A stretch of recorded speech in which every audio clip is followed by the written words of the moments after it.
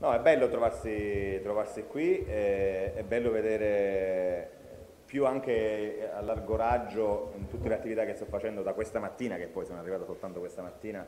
veramente hanno una italianità spiccatissima nel paese, un riconoscimento del paese importantissimo, cioè, questo weekend proprio c'è la concomitanza col Gran Premio, quindi sono anche eventi legati alle case automobilistiche, sono venuto con, uh, stamattina anche con il Presidente Bonaccini per uh, un evento della Motor Valley, quindi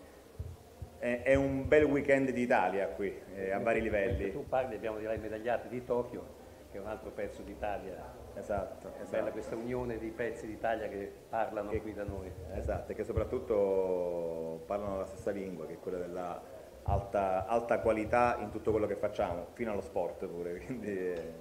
è, veramente un bel segnale che diamo e, devo dire che anche i numeri di cui stiamo parlando ora col commissario Grisenti e gli accessi al padiglione dimostrano che l'investimento fatto non solo in termini economici, che seppur importanti, ma soprattutto in termini di impegno, eh, di questo sicuramente dobbiamo ringraziare il commissario, eh, sta dando i suoi risultati. E poi un po',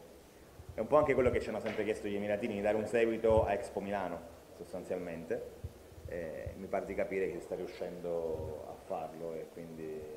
diciamo che il, il lavoro dall'ambasciata al commissario alla Farnesina sta dando i suoi frutti, mi, mi pare di capire, di questo ci dobbiamo complementare con, con, il Paese, un'applicazione concreta del concetto di, di sistema Paese.